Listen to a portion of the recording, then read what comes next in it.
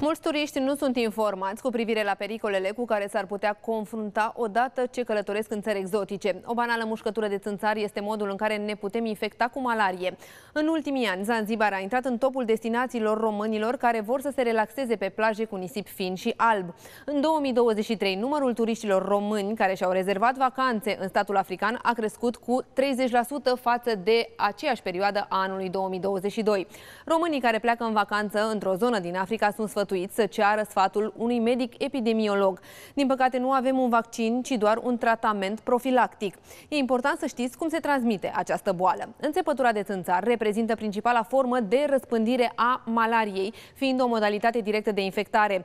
Malaria este determinată de acest parazit Plasmodium, al cărui vector este reprezentat de țânțarul anofel, cunoscut ca țânțarul malariei. Parazitul este inoculat la om prin înțepătura insectei hematofage specii infectate cu protozoare din specia Plasmodium. Există peste 400 de specii ale acestui țânțar, însă circa 85 pot transmite malaria la om.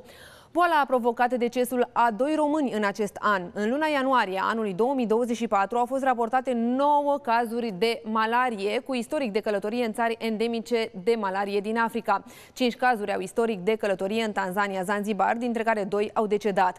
În 2023 au existat un deces și 33 de cazuri. Ministrul Rafila face apel la români să se informeze înainte de a-și petrece vacanța în destinații exotice.